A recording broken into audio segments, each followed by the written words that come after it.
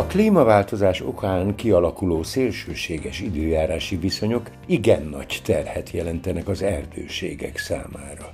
A Veszprémi erdőgazdaság erdőgondozási feladataiban is megjelennek a megváltozott éghajlat okozta problémák.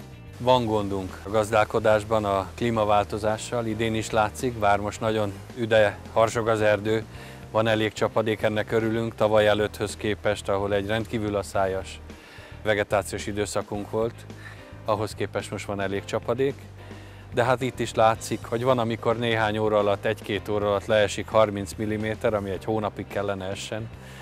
Ez nem jó, ez nem elég, ez nem hasznosítható csapadék a, a vegetáció számára, az erdő, a növényzet számára, elfolyik, mert egyszerűen nem tud beszivárogni, bármilyen összetett a növényzet. Akár őserdő jellegű, akkor is egy idő után ez sok.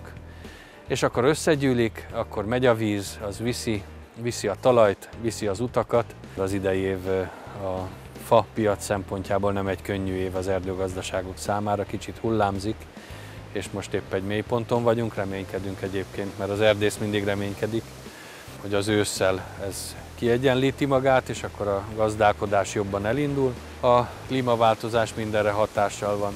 Egyébként jönnek új károsítók, a mi erdőgazdaságunknál egy különlegesen jelentős a körispusztulás, ez egy gombafaj, ellepte Európát, de egyébként egy elegyfajról van szó, úgyhogy nagyon sajnálatos, hogy a magas kör is egyébként pusztul bele. Szerencsére vannak -e rezisztens egyedek, ebbe bizakodunk, hogy ezek az egyedek aztán többségbe kerülnek, előbb-utóbb visszatérnek, mert egyébként egy rendkívül jó fafajról van szó. Klímaváltozásnak ezek a, hőingadozásai, időjárási szélsőségei, az sokkal kiszámíthatatlanabb, azzal sokkal nehezebb bármit is kezdeni. Kaphegy tetején 2011-ben volt egy, egy hatalmas szélvihar, itt és a Magasbakony déli részeit hatalmas károkat okozott, akkor több évnyi fakitermelésnek megfelelő, jól emlékszem, a kollégák elmondása alapján, hogy a 300 ezer köbméternyi bükk állomány dőlt le, évekig termelte föl,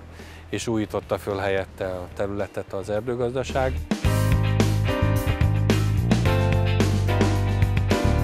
A szélviharok által okozott pusztítás sajnos elég látványos. Kidőlt fák sokasága marad a helyszínen. Az erdőlátogatás ilyenkor igen kockázatos.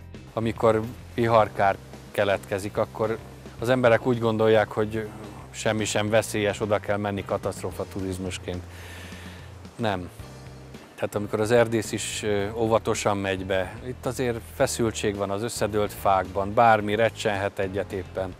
Ahogy hallottuk, más erdőgazdaságnál jelenleg is vannak ilyen, ilyen problémák, ezeket kerülni kell.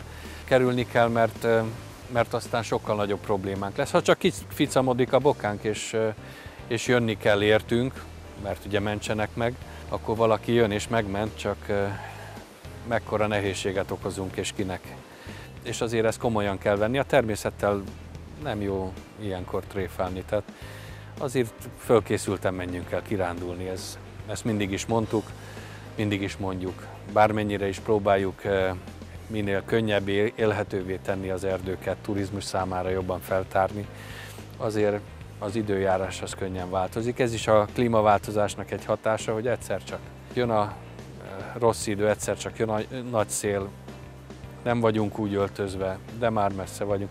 Érdemes felkészülni, nem szabad félváron venni ezt a, a, természetbe való e, kirándulást, egy egyszerű kirándulást sem.